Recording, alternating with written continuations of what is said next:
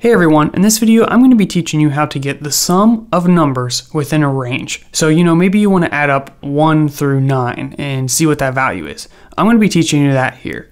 So first we'll start with a loop for i in range and we'll put a range that'll go up to 10 but not include 10 and we're just going to print i. So running this and we get 0 through 9.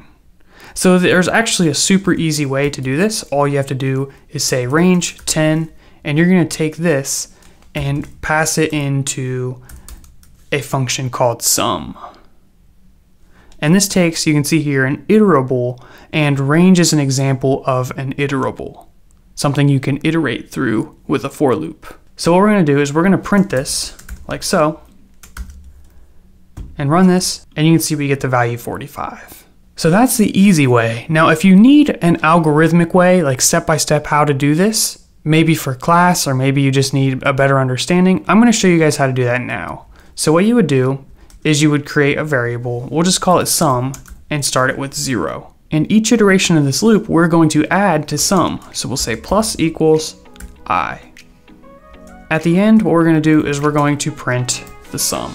So running this now, we can still get the value 45. So that is how you would create your own sum algorithm. Thank you guys for watching and stay tuned for the next one.